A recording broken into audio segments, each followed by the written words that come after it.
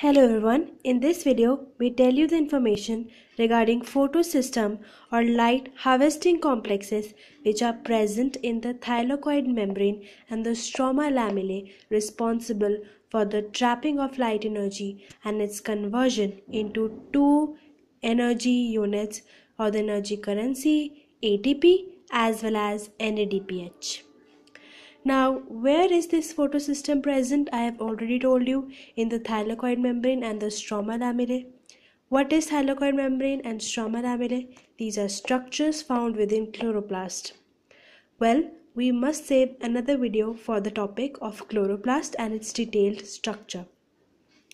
Coming to the photosystems, a photosystem has two parts, antennae and the reaction center. Every Chloroplast has four types of photosynthetic pigments. I mean the main types. Chlorophyll A, chlorophyll B, carotenoids and xanthophyll. Chlorophyll B, carotenoids and xanthophyll are not the primary photosynthetic pigments. They are the secondary ones or the accessory ones because they trap the light energy and give it to the chlorophyll A. Now these chloro these photosynthetic pigments are arranged within a pho um, photosystem. How they are arranged? Let's see. The antennae constitutes many molecules of chlorophyll B, carotenoids and xanthophylls. So as you can see these hollow circles I have drawn are the pigment molecules or the antennae. Next there is a single molecule of chlorophyll A in every photosystem.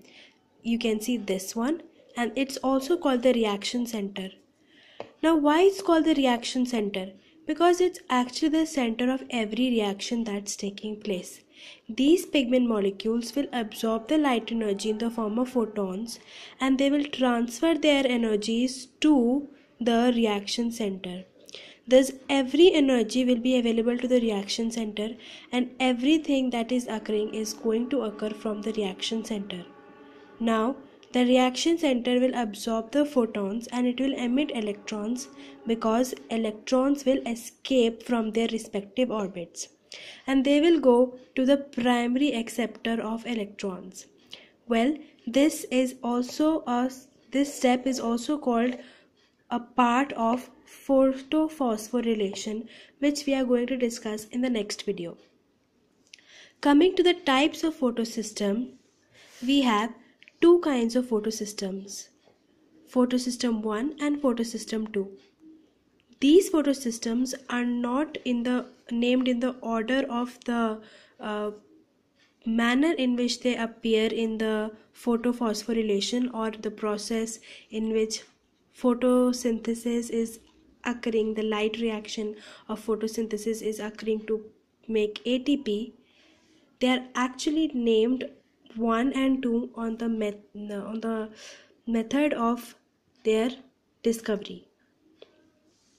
So the photosystem 1 and the photosystem 2 are differentiated on the basis what wavelength of light is the maximum activity for the reaction center. I mean that at which wavelength the reaction center is going to show maximum absorption and emission of electrons. In case of PS1 or photosystem 1 it is 700 nanometers so it's also called P700 and in case of PS2 it's 600, 680 nanometers so it's also called P680 so that's the basic differentiation of PA photosystem. The meaning of photosystem its components and the detailed structure